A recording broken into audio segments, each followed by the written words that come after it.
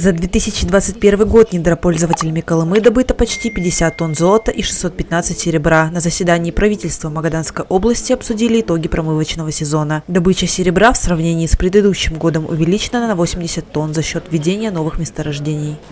Достигнем рубежа 51, 51 тонна золота и 640 тонн серебра. Ну и соответственно, соответственно НДПИ у нас налог на добычу полезных ископаемых по сравнению с предыдущим годом э, превысит ориентировочно наш, на 600 миллионов. Поэтому ну, достаточно существенный вклад в бюджет области именно наших недропользователей. В этом году золото добывали почти 100 предприятий. Основные компании – Полюс, Полиметалл, Павлик, Сусуман золото. Также некоторые компании добывают другие драгметаллы. Так, свинца получилось почти 5000 тонн, цинка – почти 6 тысяч, меди – около 420 тысяч тонн.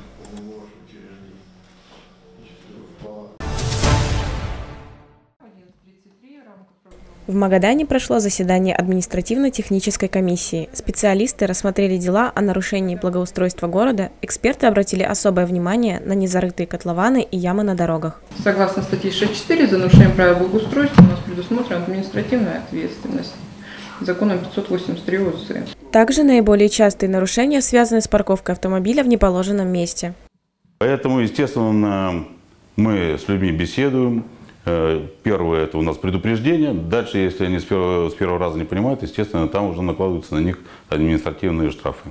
Административно-техническая комиссия обращает внимание подрядчиков, которые ведут обширное строительство в городе Магадане, на проблему отсутствия предупредительных знаков, заборов и подсветки на месте разрытия и просит уделить этой проблеме особое внимание, чтобы обезопасить жизнь и здоровье магаданцев.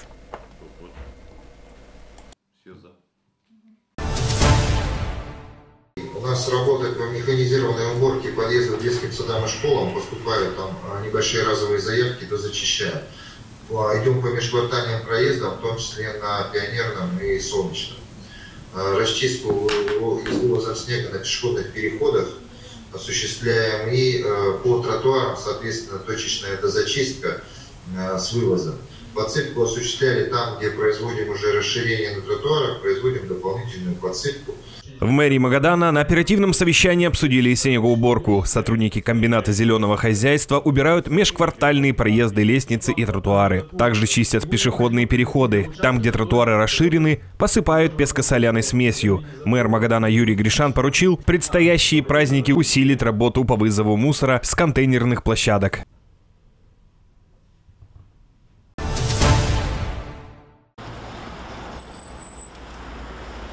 На регулярной основе прокуратура города Магадана проводит ряд проверок по содержанию улично-дорожной сети в зимний период.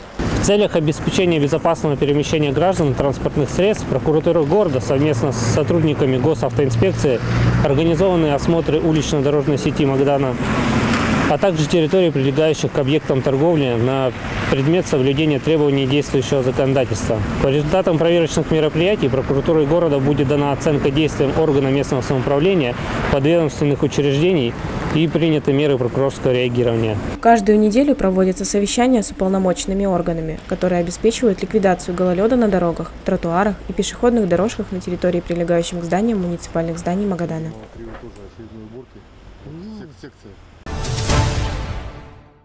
На Колыме выявили пять случаев гриппа. С октября специалисты лаборатории проверяли людей с симптомами ОРВИ не только на коронавирус, но и грипп. На прошлой неделе подтвердили пять зараженных гриппом. Как отмечают медицинские работники, лучший способ защиты – прививка. Практически всех детей уже вакцинировали, взрослых – чуть более 40% от плана. Во всех медучреждениях Колымы вакцина есть. В Магадане – 4,5 тысячи доз.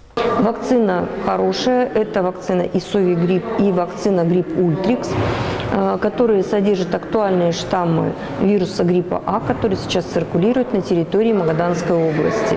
Особую тревогу специалистов вызывают беременные. Одна из пяти инфицированных ждет ребенка. Она находится под наблюдением врачей. Работники медицины просят беречь себя, носить средства индивидуальной защиты, а также вакцинироваться. Уважаемые колымчане, прививайтесь. Прививки есть. Против новой коронавирусной инфекции у нас весь спектр прививок. Это и Кувивак, и Пивак Корона, и Лайт, и Спутник Ви. Вам помогут определиться с видом прививки, который вам нужно получить медицинские работники, которые работают в прививочных кабинетах. В Магадане можно сделать прививку в каждой поликлинике. Дополнительный прививочный пункт развернут в городской стоматологии и торговом центре. Елена Кузьменко подчеркнула, не нужно заниматься самолечением. При первых симптомах болезни нужно обратиться к врачу. Специалисты лаборатории смогут точно определить, болеет человек гриппом, коронавирусом или и тем, и другим.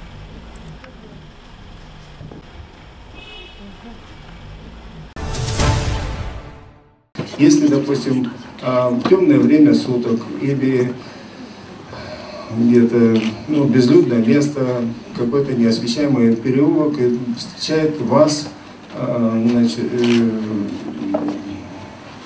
э, человек, можно быть сказать, не, нетрезвый, и начинает предъявлять какие-то требования допустим, просит, не просит, а заставляет в развязанном виде вас предоставить ему какие-то либо деньги, либо там сигареты и так далее. И, может быть, даже в оскорбительном тоне. То в данном случае, конечно, у вас будет реакция на то, чтобы э, отказать ему в этих его требованиях заявленных и сделать так, чтобы э, ну, прекратить этот э, начавшийся на пустом месте, можно сказать, конфликт. Вот здесь вот есть самое главное, которое, что вы должны знать. Почему я это сейчас рассказываю? Потому что а, если все это дело понять, допустим, очень будет а, проще понять, что же творится в библиотеке имени Олега Куваева состоялась историческо-патриотическая встреча с ветераном боевых действий Игорем Загорским. Провели ее в рамках реализации проекта «Подвиги наших земляков». Мужчина стоял у истоков создания Магаданского ОМОНа. Игорь Загорский, военный, служил в горячих точках, руководил танковым взводом. Политика и война неразрывно связаны, отмечает Игорь Загорский. Военное дело основывается на выполнения правил, методов э, ведения именно военных действий. Но считаю, что самое главное для не только военного, а и вообще гражданина страны – это вера. Как отмечают организаторы встречи, такой диалог поможет молодому поколению разобраться в политике и военном деле. Основная цель беседы – передача опыта, а также историческое и духовно-нравственное воспитание. То есть создать необходимые такие условия для своего оппонента. За лучшее новогоднее оформление можно получить приз. 6 декабря по 10 января 2022 года пройдет городской смотр-конкурс на лучшее новогоднее украшение зданий, помещений и дворов. Участникам можно будет использовать декоративную иллюминацию, световые 3D-фигуры, гибкий неон, надувные формы, плакаты. Также украсить территорию снежными и ледяными арт-объектами. Жюри будет оценивать не только внешний вид, но и санитарно-техническое состояние объектов. Конкурсантам необходимо сформировать единую тематическую композицию. По итогам осмотра определять трех призеров каждой номинации. Заявки принимают до 15 декабря. В номинации «Лучшее новогоднее оформление зданий» торг собака магадангород.ру. В номинации «Лучшее новогоднее оформление дворов» экономисты собака inbox.ru.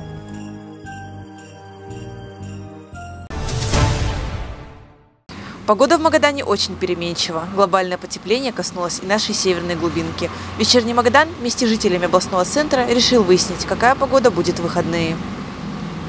В субботу, 11 декабря, в Магадане облачно. Температура воздуха ночью до минус 10 градусов. Днем до 7 градусов мороза. Атмосферное давление высокое, 756 миллиметров ртутного столба. Ветер северо-восточный до 3 метров в секунду. Воскресенье 12 декабря в Магадане облачно, с прояснением. Температура воздуха ночью до минус 14, днем до 12 градусов мороза.